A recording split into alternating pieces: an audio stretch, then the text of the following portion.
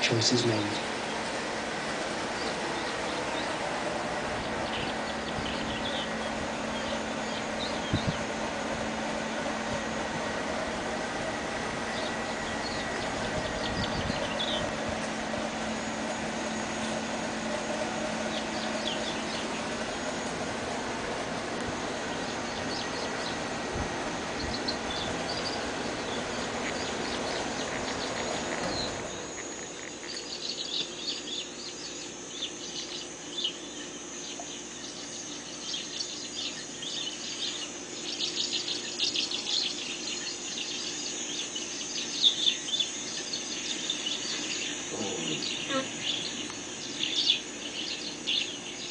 The supreme effort of the chase pays off with a meal that would last her and her cubs at least two days.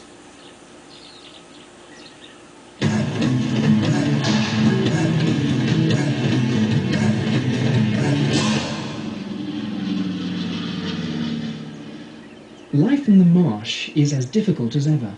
The promise of zebra for the marsh lions hasn't materialized, and the consequences for the cubs grow ever more life-threatening.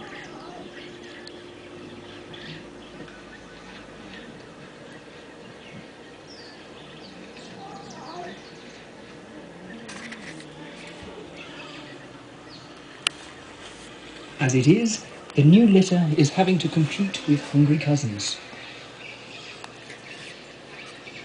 The older cubs should be concentrating on meat, but with no solid food as an option, they're muscling in on the meagre milk reserves.